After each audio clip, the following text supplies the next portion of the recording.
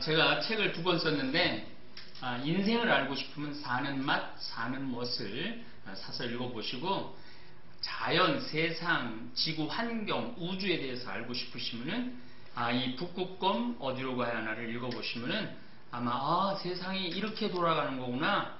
지금 지구가 왜 이렇게 더운가 이런 것들을 아마 잘 이해하실 수 있을 겁니다. 아, 또 제가 제가 이해한 것만 썼습니다. 그래서 아마 여러분들 책 읽으실 때 아마 쉽게 읽으시면서 어, 내가 살고 있는 이 지구 환경이 얼마나 아름답고 소중한 공간인지 그래서 또 얼마나 우리가 잘 보존해야 되는지 공감하실 수 있으리라 생각을 합니다. 어, 많이 어, 애독해 주시고 또 어, 지구 환경을 살리는데 함께 해주시면 감사하겠습니다.